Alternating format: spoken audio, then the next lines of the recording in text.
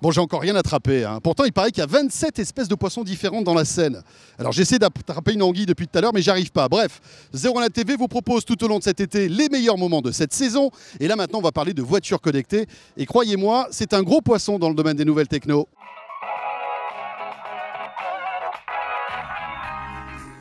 Et toujours technologiquement, on va parler de la conception de cette voiture avec des portières en alu, capot en alu, mais surtout une cellule intégralement en carbone.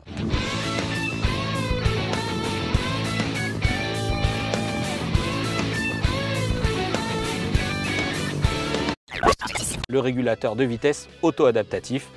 Cette technologie, on vous en parle souvent, elle consiste à ajuster votre vitesse en fonction des véhicules qui vous précèdent. La voiture accélère, freine automatiquement, ça, c'est un bon point.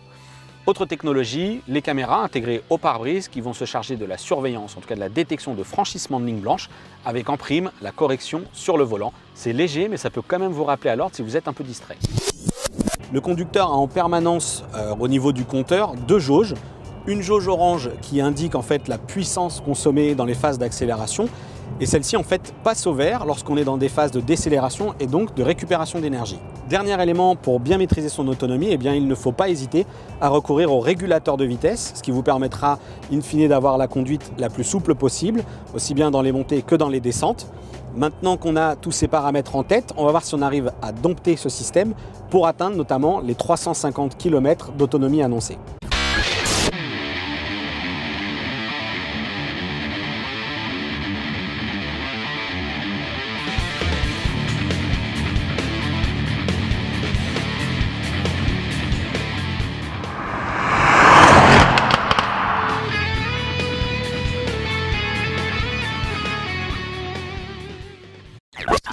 Mais on se retrouve actuellement dans un convoi où ici en fait on suit euh, deux véhicules à moins de 50 km/h et on le voit bien, la voiture accélère, freine toute seule, garde le cap. Je n'ai rien à faire si ce n'est maintenir la main sur le volant pour que le véhicule considère que je suis bien attentif et vigilant sur la route.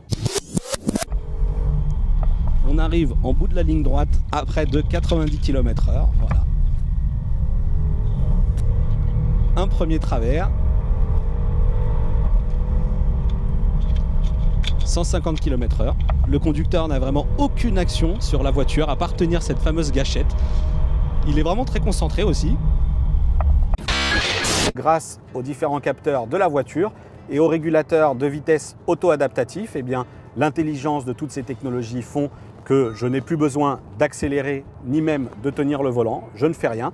Le problème, c'est que vous l'avez peut-être entendu, on a différents niveaux d'alerte. Un premier niveau d'alerte qui nous invite à reprendre le volant la voiture continue de corriger la trajectoire et il y a un second niveau d'alerte qui cette fois-ci sera un petit peu plus franc puisqu'on recevra une secousse qui nous rappellera qu'il faut véritablement reprendre la main.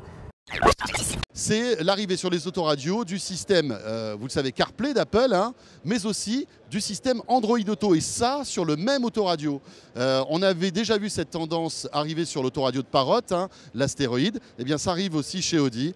En gros, que vous ayez un, téléphone Android ou un téléphone Apple, vous le branchez sur un petit câble et automatiquement, vous allez avoir l'écran de votre smartphone qui va se déporter et qui a été en plus adapté à l'utilisation en voiture, par exemple les cartes GPS, etc., la musique, Spotify. Système Surround View, des caméras intégrées aux quatre coins du véhicule, sous les rétroviseurs, à l'avant, dans la calandre, à l'arrière, dans le pare-choc. Ce qui fait, eh bien, lorsqu'on a une manœuvre à faire en marche arrière, toutes ces caméras s'activent, mais aussi pour sortir d'un parking où la visibilité est très réduite, celles qui sont intégrées dans le pare-choc sur les côtés, vous permettent de voir lorsque vous sortez d'un parking et que vous n'avez pas de visibilité, s'il n'y a pas une voiture qui arrive, bref, tout ce qu'il faut pour manœuvrer sereinement. L'idée, c'est d'appairer, encore une fois, parce que ce système est Bluetooth, votre smartphone à ce petit kit main libre. Après, vous l'accrochez n'importe où dans votre voiture, ça peut être ici par exemple sur le pare-soleil. Vous l'appairez et vous allez pouvoir passer des coups de fil. Qu'est-ce qui se passe exactement? Eh bien, lorsque vous allez passer un coup de fil, à l'intérieur de ce petit appareil, il y a en fait un haut-parleur qui va vous restituer la voix de votre interlocuteur et vous allez pouvoir passer un coup de fil en toute sécurité.